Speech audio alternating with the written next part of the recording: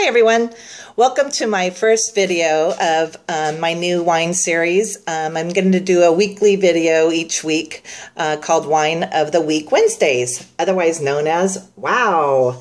Um, so welcome. Uh, our wine this week is Primal Roots. It's a California red blend.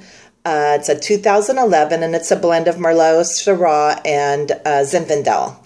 It's rather jammy. It's got some hints of chocolate. In fact, let me read you the notes on the back so you can get a better feel. Um, its aromas of mocha, black cherry, vanilla, and spice give way to a silky texture and rich flavors of raspberries, chocolate, and dark caramel. So um, it's also a really good buy at Albertsons right now, under ten dollars. I paid nine ninety eight. Uh, normally it's twelve dollars, so it's very delicious, very easy drinking, doesn't have a lot of tannins. Um, you could just open it up and drink it after work or on the weekends with your friends. So um, I highly recommend it. It's a really great bargain. Um, so go out and next time you're near Albertsons, excuse me, uh, stop in and give it a try.